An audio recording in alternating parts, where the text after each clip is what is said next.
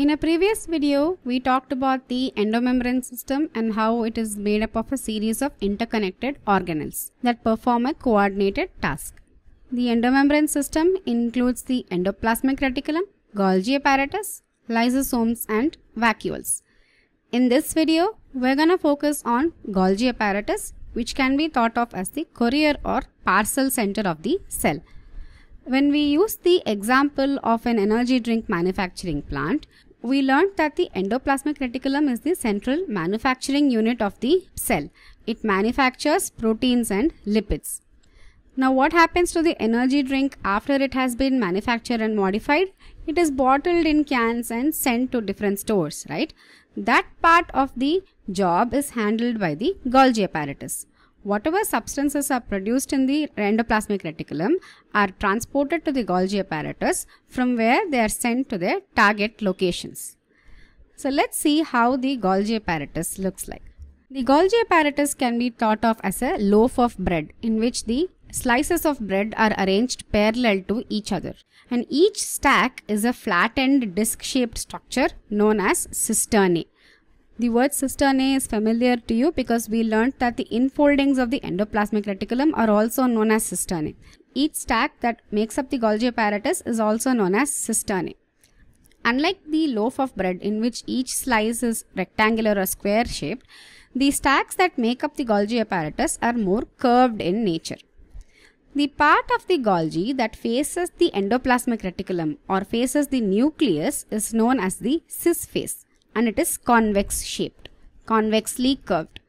That part, the cis face, acts as the docking station for incoming transport vesicles.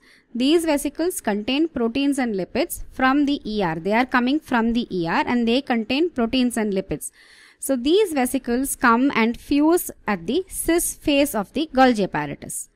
Once they fuse with the Golgi apparatus at the cis face, the contents of the vesicles are released into the Golgi apparatus.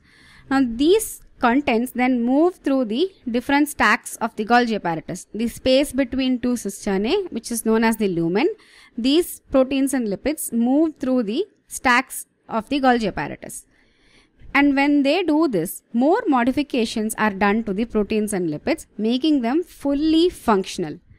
Additionally, tags that tell the proteins and lipids where to go are also given to them.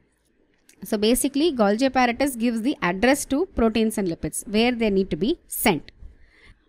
Once the modifications are done, the substances reach the end of the Golgi apparatus. This part faces away from the nucleus towards the plasma membrane. This part is concave shaped and known as the trans face. And from here, more vesicles are formed which contain the fully modified proteins and lipids and these vesicles are then transported to their target locations. So the vesicles also know the address of the protein and lipid and they are transported to different parts of the cell like the nucleus, endoplasmic reticulum, lysosomes about which we'll learn in another video, plasma membrane or even out of the cell. So those proteins or lipids called secretory proteins and lipids are transported by the secretory vesicles. Now, how are these proteins and lipids secreted out of the cell? So, this is a vesicle that contains proteins or lipids that has formed from the Golgi apparatus. It knows the address where it needs to go and the address is out of the cell. So, what happens is this vesicle comes and fuses with the plasma membrane that covers the entire cell. This vesicle comes and fuses with the plasma membrane. As this vesicle fuses with the plasma membrane, the proteins or lipids are released out of the cell.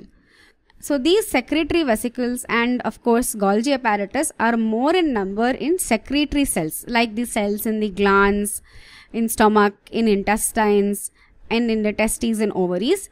Those that produce secretory proteins and lipids have more number of Golgi apparatus and more number of secretory vesicles. So this is how the Golgi apparatus acts like the courier or parcel center of the cell.